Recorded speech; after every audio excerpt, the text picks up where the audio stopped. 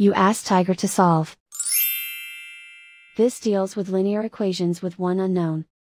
The final result is h equals 15 over 4. Let's solve it step by step. Swap sides. Group all constants on the right side of the equation.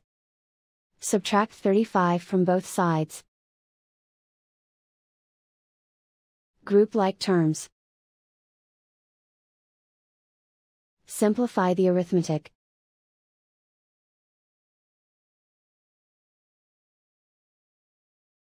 Isolate the h.